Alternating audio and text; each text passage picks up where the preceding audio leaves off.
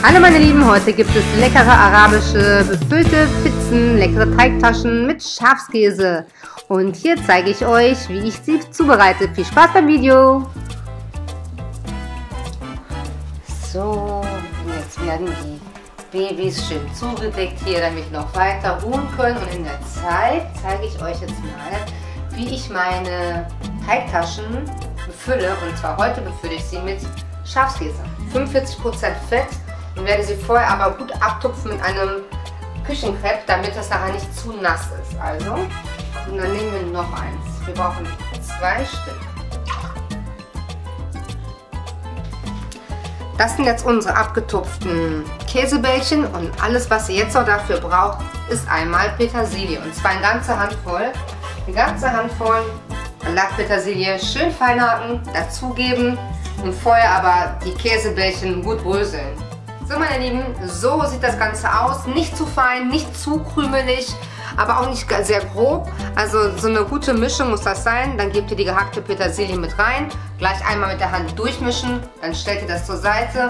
Und wie wir den Teig zubereiten, das seht ihr in einem Video, das verlinke ich euch hier. Da habe ich den Teig einmal für euch komplett zubereitet. Und die Mengenangaben aber für den Teig zeige ich euch natürlich auch nochmal unten bei mir in der Infobox. Also, jetzt geht es erstmal ran an den Teig.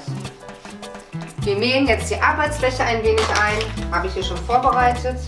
Und die Hände auch schön einmählen. Und dann geht es auch schon los. Schnappt euch ein Bällchen.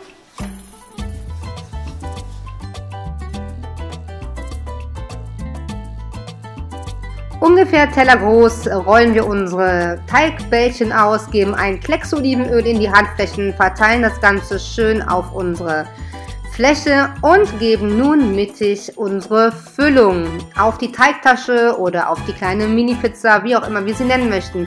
Wer noch Lust hat und es sehr gerne mag, der kann auch sehr gerne noch ein bisschen Thymian mit hinzugeben. Das schmeckt besonders lecker. Und jetzt zeige ich euch die einfache Technik an den Seiten anheben und jeweils unten und oben zusammenklappen und die Ecken zusammendrücken. Fertig. So, und damit die Pizza auch ganz schnell fertig werden, ist übrigens ein ganz toller Party-Snack, äh, schmeißen wir schon mal den Backofen an. Auf Ober-Unterhitze 200 Grad ungefähr 25 Minuten das Ganze und so sehen die Teigtaschen aus, bevor sie in den Backofen gehen. Und die zweite Lage, also das zweite Blech, habe ich schon mal auf den Boden des Backofens gelegt, damit der Boden eine schöne Röstung bekommt.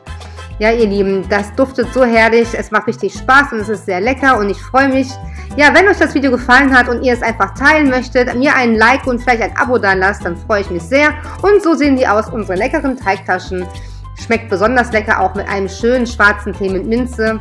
Herrlich orientalisch. Ja, ich wünsche euch guten Appetit. Macht's gut.